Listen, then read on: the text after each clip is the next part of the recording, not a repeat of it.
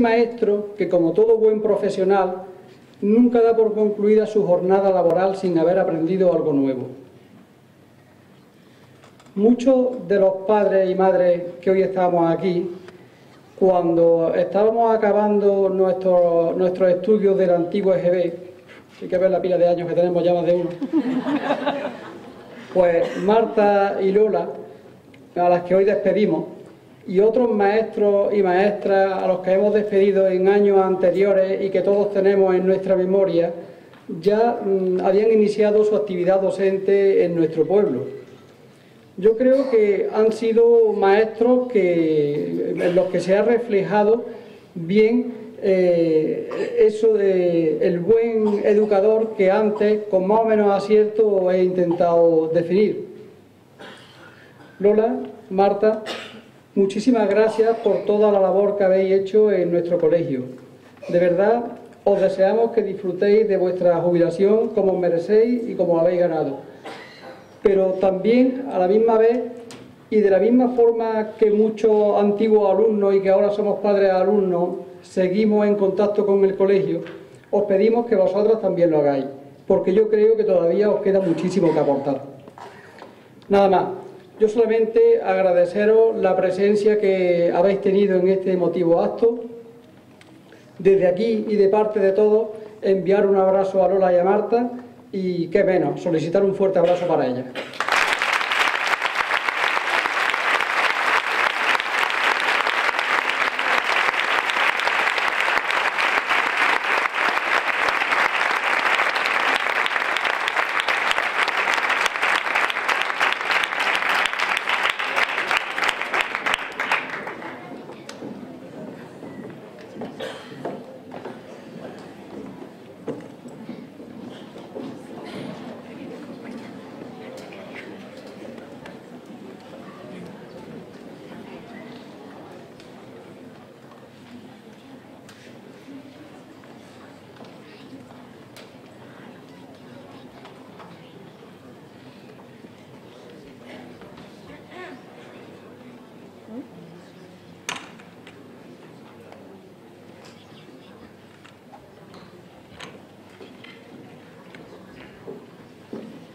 Bueno, pues nos hemos quedado todos un poco esperando que nos digan unas palabritas, ¿no? Pues pensáis que es lo que corresponde, ¿no?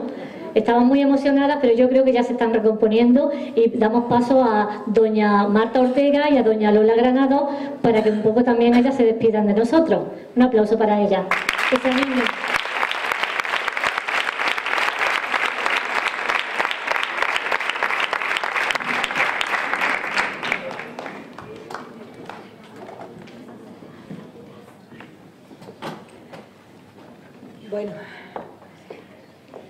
Quiero dar las gracias por esta muestra de afecto a todos, a mis compañeros y a todos vosotros. Y todo se acaba en la vida y también mi vida profesional se ha acabado, pero me va a costar muchísimo trabajo.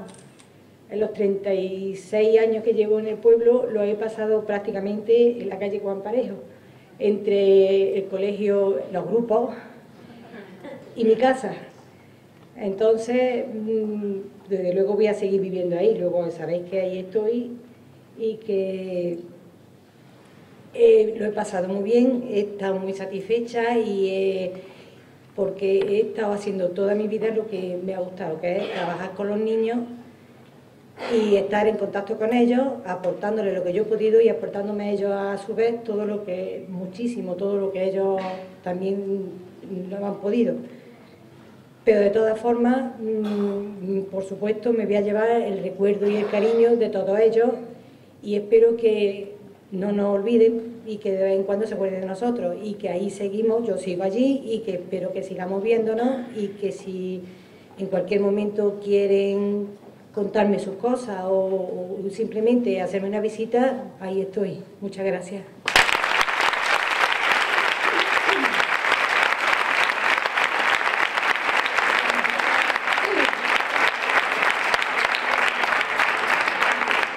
Bueno, ya habéis visto que estamos muy emocionadas, igual que ellos, con un nudo en la garganta.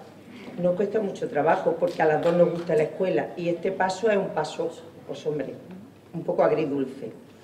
Eh, un poco voy a deciros, solamente gracias, gracias por esos aplausos, gracias a mis compañeros por haber estado siempre ahí, mm, algunos muy amigos, otros compañeros, y gracias al pueblo de Villa del Río, porque yo me he hecho maestra en el pueblo de Villa del Río, toda mi vida me la he pasado aquí y le tengo mucho cariño a los padres, a los niños que han pasado por mí. Los quiero mucho y los recordaré siempre. Gracias.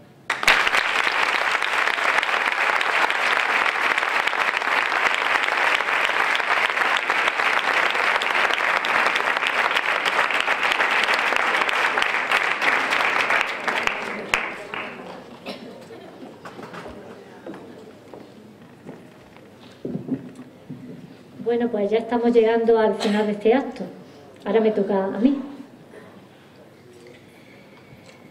A pesar de ser vuestra noche, vuestra, me vaya a permitir que mis primeras palabras en esta ocasión vayan dirigidas a vuestros padres. Hoy ellos también son protagonistas y estoy segura que están viviendo este acto con muchísima ilusión, pero a pesar de estar alegres, seguramente también estén preocupados y algo asustados por vuestro futuro. Esta noche me gustaría compartir con todos vosotros un bello y curioso relato para, para que lo recordéis en aquellos momentos en los que os sintáis algo desilusionados como padres. Y espero que os ayude a mantener la esperanza y la confianza en vuestros hijos y en vosotros mismos. Su título es el bambú japonés. No hay que ser agricultor para saber que una buena cosecha requiere de buena semilla, buen abono y riego constante. También es obvio que quien cultiva la tierra no se para impaciente frente a la semilla sembrada y grita, todo, y grita con todas sus fuerzas, crece, crece. Hay algo muy curioso que sucede con el bambú japonés y que lo transforma en no apto para impacientes. Siembras la semilla, la abonas y te ocupas de regarla constantemente. Durante los primeros meses no sucede nada apreciable. En realidad, no pasa nada con la semilla durante los primeros siete años. A tal punto que un agricultor inexperto estaría convencido de haber comprado semillas infértiles. Sin embargo, durante el séptimo año, en un periodo de solo seis semanas, la planta de bambú crece más de 30 metros. ¿Qué pasó? ¿Tardó solo seis semanas en crecer? No. La verdad es que se tomó siete años y seis semanas en desarrollarse. Durante los primeros siete años de aparente inactividad, este bambú estaba generando un complejo sistema de raíces que le permitirían sostener el crecimiento que iba a tener después de siete años. Este cuento es similar a lo que nos pasa muchas veces en la vida. En general, nos apresuramos y nos ponemos nerviosos si no logramos inmediatamente un objetivo. Muchas de nuestras metas, especialmente las más ambiciosas, requieren tiempo y dedicación. Así como el bambú requiere perseverancia, lo mismo ocurre con la educación de nuestros hijos. A veces no vemos resultados durante mucho tiempo, pero si nos mantenemos perseverantes, realizando acciones cada día, tarde o temprano, los resultados se van a manifestar. Y cuando esto ocurre, vemos todos los frutos de nuestro esfuerzo. Por eso, si los resultados no se manifiestan inmediatamente, si no conseguís los que anheláis, no desesperéis. Solamente tenemos que pensar que seguramente estén echando raíces. Y por último, a vosotros, quiero deciros que todas las personas que pasan por nuestras vidas, todas, padres, abuelos, familiares, amigos, profesores, todas dejan huella en nosotros. Y un día descubriréis que estáis hechos de pedacitos de cada uno de ellos. pero no olvidéis que también vosotros formáis parte de ello. Por eso, dejad siempre lo mejor. Y por tanto, recordad que siempre formaréis parte de este colegio y que por siempre nuestro colegio Poeta Molleja formará parte de vosotros y de vuestras vidas. Muchas gracias.